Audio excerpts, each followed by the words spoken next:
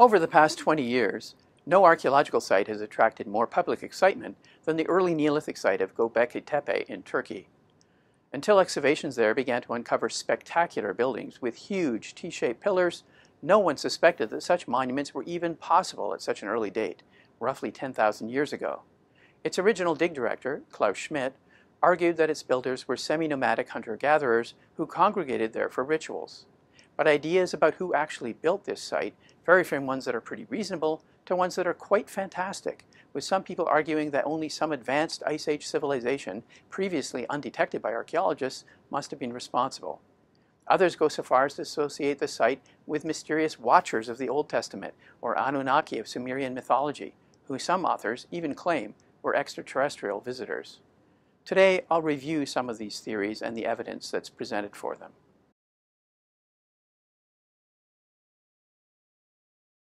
Göbekli Tepe is a large early Neolithic site in the Sanliurfa district of southern Turkey. Level 3 at this site, probably dating roughly 11,000 years ago, features a large number of circular to oval structures, each with two massive pillars near the center of the room and smaller pillars around the periphery. The pillars are T-shaped slabs of limestone, often massing up to several tons, and many of them are carved with reliefs of animals and other symbols. The original director of excavations at the site, Dr. Klaus Schmidt, argued that the site was a pilgrimage site that drew hunter-gatherers from a broad region in order to conduct rituals in the structures, which he described as temples. Although archaeologists would describe this as an early Neolithic site, the late Dr. Schmidt emphasized that he thought that the people who used the site were hunter gatherers, not farmers.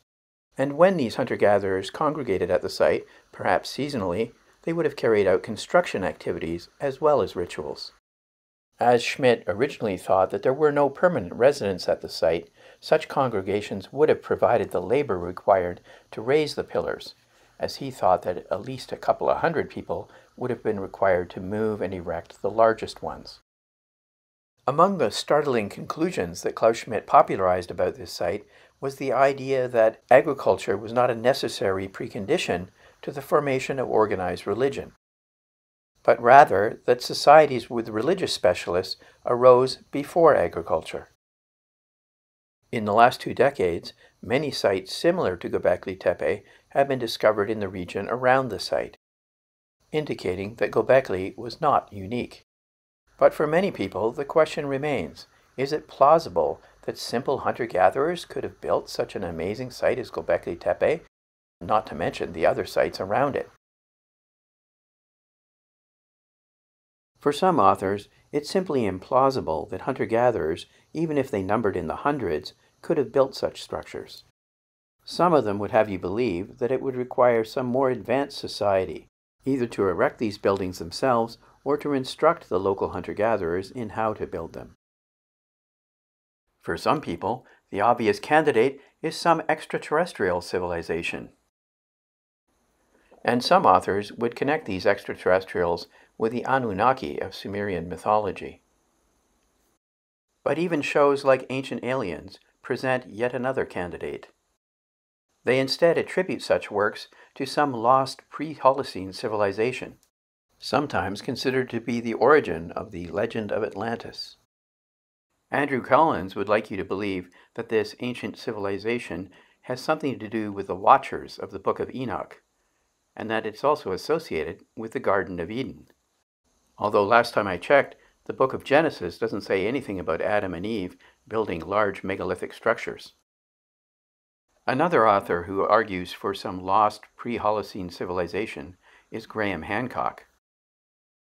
As these arguments go, this advanced civilization was wiped out by a cometary impact or a cometary burst that triggered the Younger Dryas climate episode around 13,000 years ago.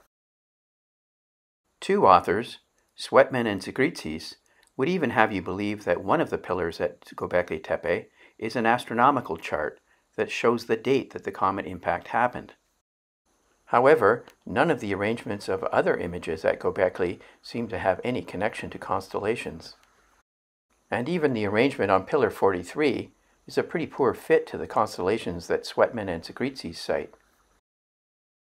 Not to mention that it's a bit of a stretch to expect the builders of a Göbekli Tepe 11,000 years ago to have recognized the same constellations as the ancient Greeks 9,000 years later. It makes even less sense to attribute Göbekli Tepe to some technologically advanced civilization of the Pleistocene that archaeologists have simply been too incompetent to detect, despite their success at finding lots of evidence for hunter-gatherer sites of the same period. Among the many problems with these theories, the first is that it involves some very negative assumptions about the abilities of hunter-gatherers. Generally, these authors seem to think that hunter-gatherers are extremely unsophisticated. Second, they depend on Klaus Schmidt's hypothesis that Göbekli Tepe and sites like it were not Neolithic villages. And third, they also make some unwarranted assumptions about the level of difficulty involved in moving and erecting these large T-shaped pillars. Let's deal with each of these problems in turn.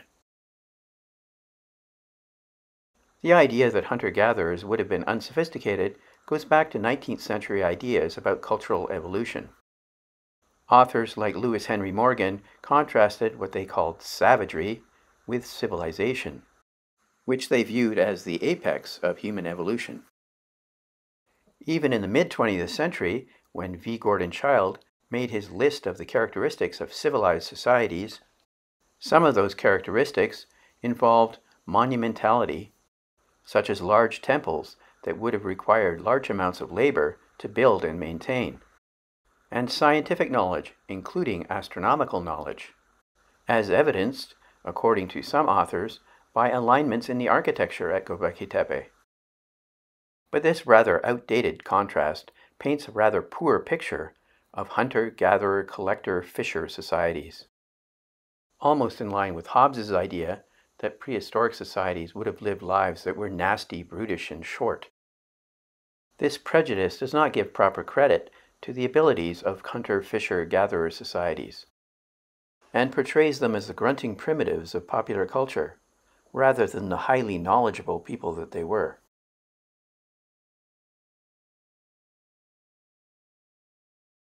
Hunter gatherers of the late Pleistocene and early Holocene were in fact highly sophisticated. They had complex tools and weapons made of multiple parts made from different materials of which archaeologists normally only find the parts made of stone, bone, or antler, because the parts made of materials like wood and twine would have decayed away. These people were also capable of bringing down large dangerous animals like bison or oxen, and even mammoths. And they no doubt had technologies for the transport of heavy materials like meat, hides, and even flint for raw material for stone tools and we know that some of them had seagoing watercraft capable of making fairly long voyages. For example, the Mesolithic occupants of Franchthi Cave in Greece were exploiting deep water tuna and obsidian from the island of Melos, both of which would have required sailing far out into the Mediterranean. Even more remarkably, the first humans to reach what are now Australia and New Guinea more than 40,000 years ago would have had to cross straits that are more than 90 kilometers across. And it's also well known that among what some people call complex hunter gatherers, such as the people on the northwest coast of North America, they not only knew how to erect large plank houses, they were also able to carve and erect truly enormous cedar totem poles and house posts. They most certainly did not require the intervention of some lost civilization that has since disappeared without leaving a trace of its existence. In short, many hunter gatherer societies had considerable practical knowledge and technical ability.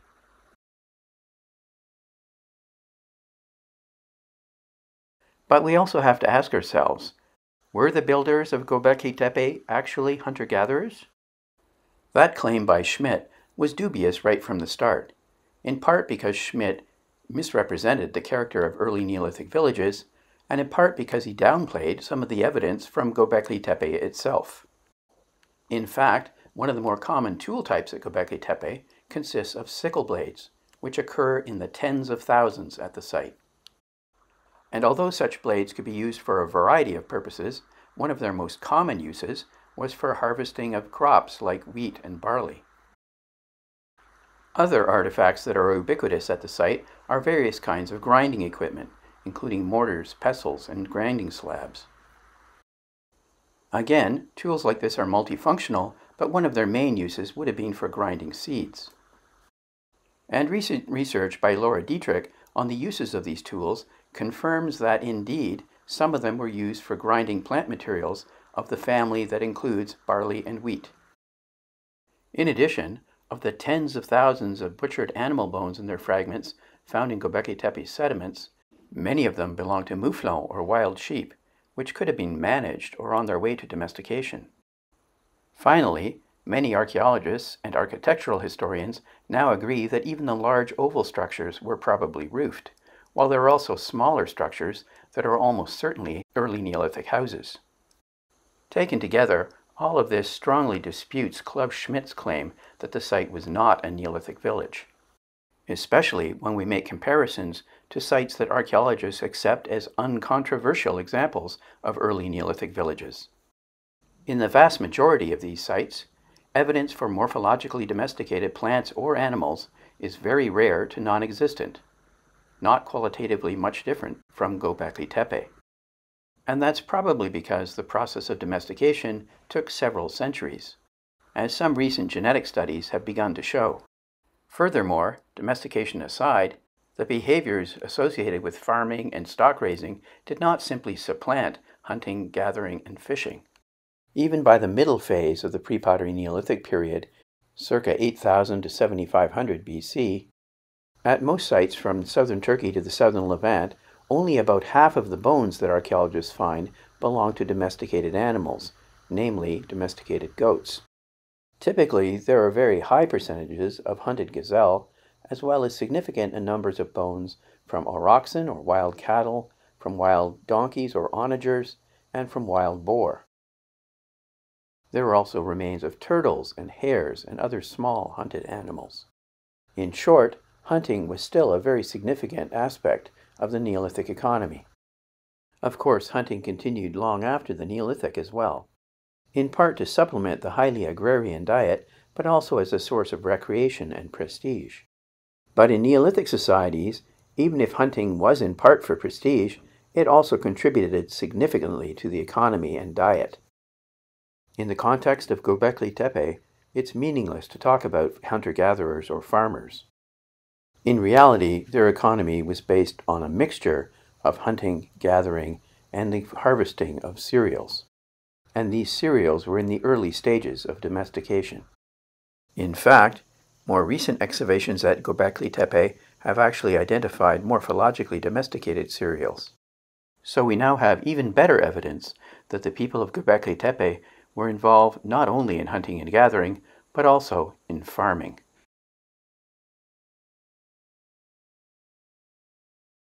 So, the answer to the question that's the main point of this video is that the people who built Göbekli Tepe were apparently Neolithic villagers, presumably ones that lived right at the site itself.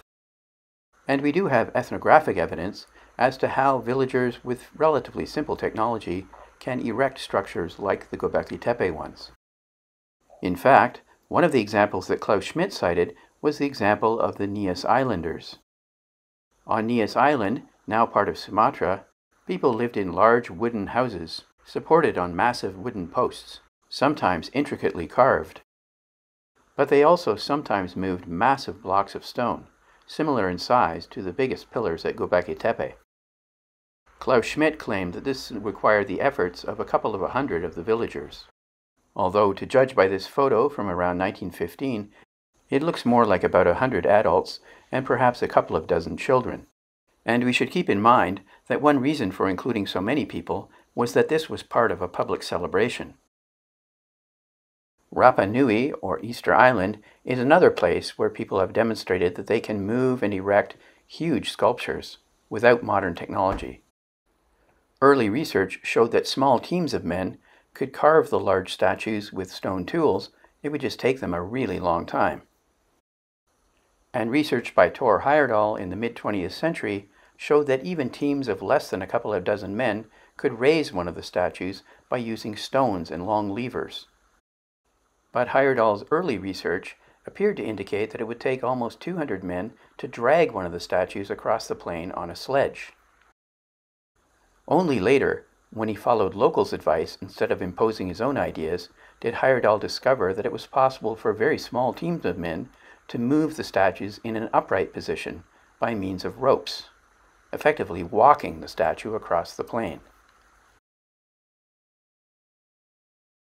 Returning to Göbekli Tepe, in an article I published in 2011, I made estimates of the amount of labor it would take to move some of the larger T-pillars at Göbekli across a level surface, using standard engineering formulas. These conservative estimates result in labor requirements that are not trivial, but are far below those that Schmidt suggested. And even if it was necessary to move the stones up a slope, say of 8 degrees, it would only require double this many laborers. In short, the work of Göbekli Tepe's residents is quite impressive, but well within their own capabilities. Whether they use methods similar to those on Easter Island, or ones similar to what you see in this image. To summarize, hunter-gatherers of the late Pleistocene had lots of practical knowledge, and it's unfair to characterize them as being incapable of moving large rocks around. In any case, to characterize the people at Göbekli Tepe as hunter-gatherers is simplistic at best. Like the residents at other early Neolithic villages, they would have had economies that included a mixture of hunting, gathering, and the harvesting of wild wheat and barley. And although their works at Göbekli Tepe and elsewhere are impressive, they most certainly had the practical knowledge and technology to carry out these works themselves. As I've tried to argue here, there is no good reason to invoke extraterrestrials or lost civilizations as the planners and builders of Göbekli Tepe's architecture. Almost certainly, Göbekli Tepe was an early Neolithic village, with a population of a few hundred residents that provided more than adequate labor for quarrying, moving, erecting, and carving the pillars. Such residents were neither full-time hunter-gatherers nor full-time farmers, but, like those at other early Neolithic sites, pursued a varied economy that exploited diverse resources, including wild ones and ones that were domesticated or on their way to becoming so. And they would have been perfectly capable of understanding how to move and raise large blocks of stone with levers, fulcrums, wedges, ropes, and possibly rollers. Their work is certainly an impressive achievement, but not at all out of the scope of these resourceful first farmers.